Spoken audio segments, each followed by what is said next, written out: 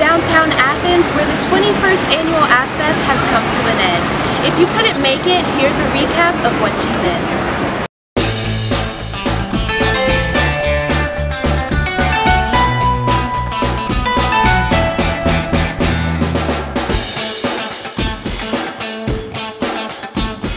AthFest focuses on bringing people together through music, art, and food.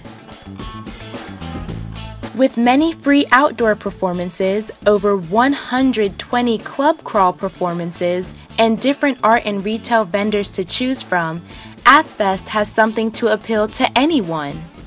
I think it's just a great um, a great event to come to with the family. There's it's fun for everybody. I love the atmosphere, I love the weather, and the AthFest is just awesome. Besides those attending AthFest, those participating also enjoyed what the festival had to offer. It's a good crowd, good vibe, and uh, we've, we've sold some pieces, so we're happy.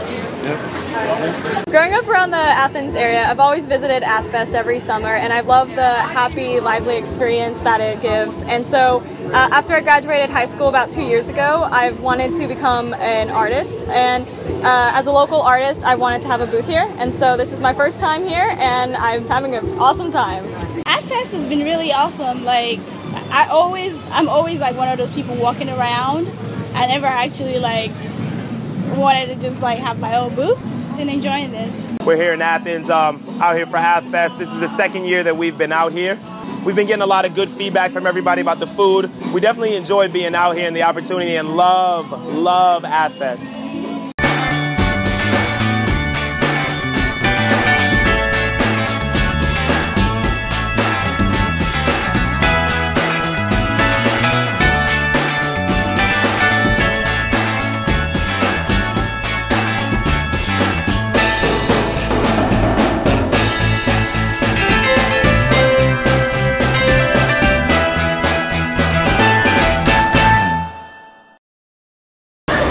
This has been a recap of the 21st Annual AthFest.